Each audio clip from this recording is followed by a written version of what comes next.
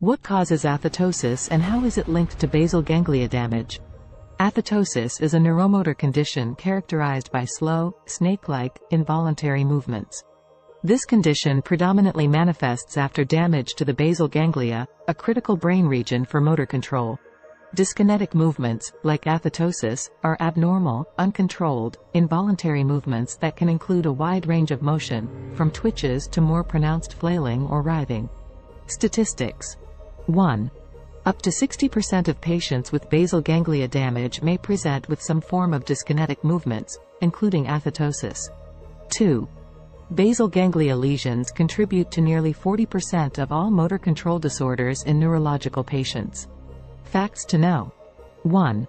Athetosis commonly results from basal ganglia damage due to stroke, trauma, or degenerative diseases.